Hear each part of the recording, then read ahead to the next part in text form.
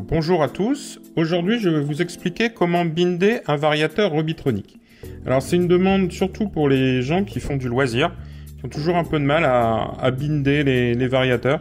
Donc je vais binder ce variateur-ci. C'est le Razer 150 A qui fonctionne de 3S à 6S de chez Robitronic. Donc c'est un produit très très vendu en loisir, ce sont des très bons produits. Avec un moteur aussi de chez Robitronic, un 2000 kV. Donc voilà, vous avez ce combo. Donc ce combo vaut euh, de mémoire 159 euros. Donc très bon produit, variateur étanche, moteur 4 pôles 2000 kV, parfait pour les buggy, pour les truggy, pour les rally games. Alors pour le binder, c'est très simple. Vous allumez votre émetteur. Vous branchez donc le fil du variateur va dans le récepteur sur la voie 2. Au niveau des branchements, ici, le bleu sur le bleu, orange sur orange, jaune sur jaune.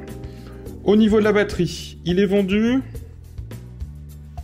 vous voyez ici, avec deux prises DIN. Je mets simplement un petit shunt qui va vous le faire passer en une fois 4S ou une fois 3S ou une fois 2S au lieu d'avoir deux fois 2S ou deux fois 3S. Pour le calibrer, vous avez ici sur l'interrupteur un petit bouton blanc vous appuyez sur le petit bouton et vous allumez votre interrupteur. Le variateur sonne, vous laissez votre radio au neutre, vous ne touchez à rien, vous appuyez une fois. Il a pris la calibration. J'accélère à fond, en restant accéléré à fond, j'appuie une fois. Il bip deux fois, ça veut dire qu'il a pris la calibration. Je freine à fond, en restant freiné à fond, j'appuie une fois. Trois bips, il a pris la calibration. La calibration est déjà terminée. J'éteins le variateur, j'éteins la radiocommande, j'allume et on va tester si tout fonctionne. J'allume le variateur.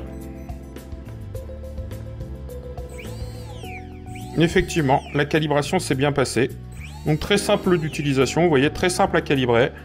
La marche avant, le neutre et la marche arrière.